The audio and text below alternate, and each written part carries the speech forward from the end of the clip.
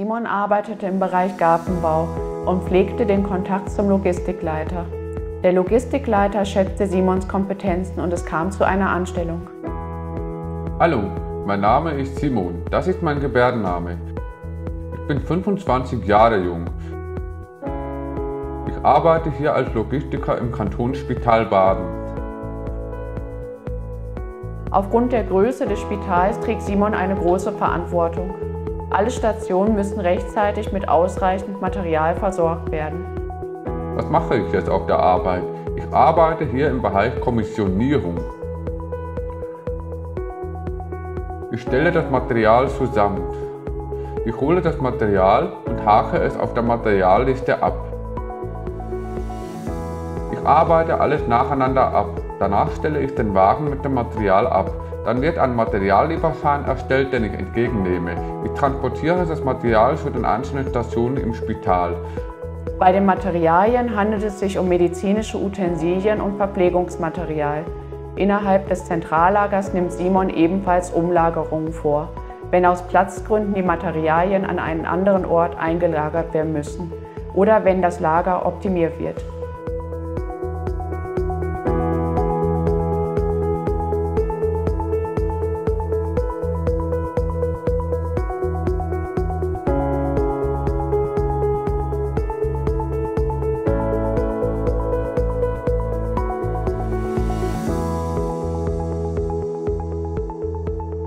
Im Spital gibt es zwei Kleintransporter. Mit dem Kleintransporter transportiere ich die Wegen hier hinten. Vier Wegen sind miteinander verbunden. Dort drinnen befindet sich das zusammengestellte Material. Ich liefere es dann an die Stationen, die auf dem Materiallieferschein ausgewiesen sind. An die Wäscherei, den technischen Dienst, an unterschiedliche Stationen. Das Spital ist groß, deswegen ist es gut, dass ich den Kleintransporter hier habe. Auch liefere ich nicht benötigtes Material zurück ans Lager. Das ist Materialarbeit.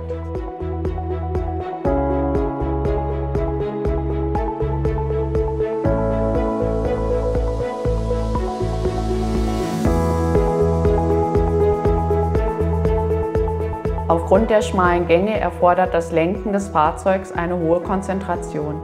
Für Simon kein Problem, er hat das Lenkrad voll im Griff. Nach der Bewirtschaftung der Station fährt Simon ins Zentrallager zurück.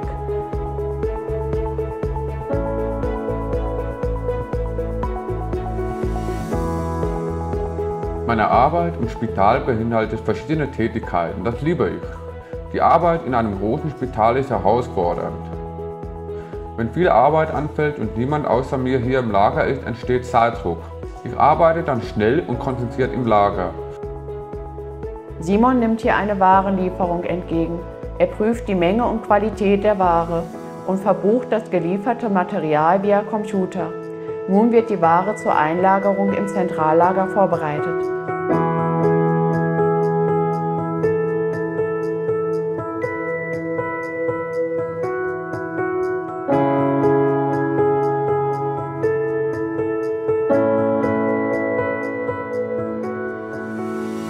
Damit die Arbeitskollegen mit Simon gebärden können, bietet er einen Kurs für sie an.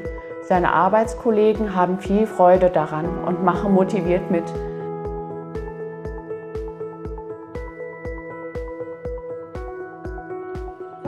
Ich gebe einen Gebärdenkurs. Doch wie kam es dazu? Als ich angefangen habe zu arbeiten, fragten meine Kollegen, wie sie mit mir gebärden können. Ich zeigte ihnen verschiedene Gebärden und sie waren sehr interessiert. Auch findet einmal im Monat eine Bildungsveranstaltung für das Team statt. Mit verschiedenen Themen wie zum Beispiel zur Durchführung von Operationen oder zur Gebärdensprache. Ich bin mit der Gebärdensprache aufgewachsen und habe die Anmeldung bekommen, zu diesem Thema zu referieren. Ich referiere für alle Logistiker, mit denen ich zusammenarbeite. Sie sind positiv gestimmt und interessiert. Sie stellen viele Fragen, die ich sehr gerne beantworte bekomme Gänsehaut davon. Vermittelt werden die Gebärden für nützliche Begriffe aus dem Logistikbereich.